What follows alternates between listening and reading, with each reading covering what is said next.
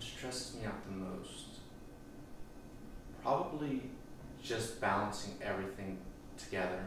Um, balancing home, um, homework, you know, um, nursing relationships between you know your um, classmates because you're with the same classmates for two years, so there's a lot of drama between the students and um, the teachers, um, and balancing out caring for yourself, caring for your patient, and caring for your schoolwork. What were you kind of planning on doing with your major? Um, that's actually a cause of stress. I don't know. I have a, I mean, I've thought about doing like, like being a diplomat, doing something like that, or working with um, uh, a, a charity, but I don't really know.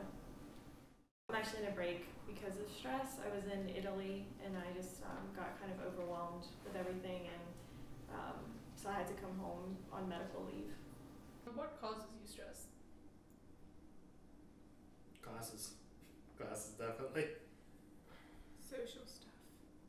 say um mostly it's like um my future and like dieting What do you do to help you deal with your stress? Uh, try to.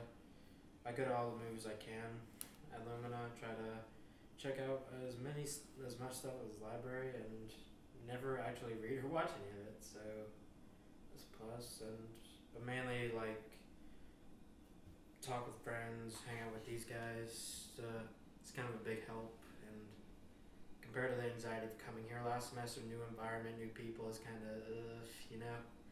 But over time, like these guys are some of my great, are some of my best friends on campus, and hanging out with them kind of relieves the tension of what's going on out there. Have you ever felt like your stress was just too much for you to handle?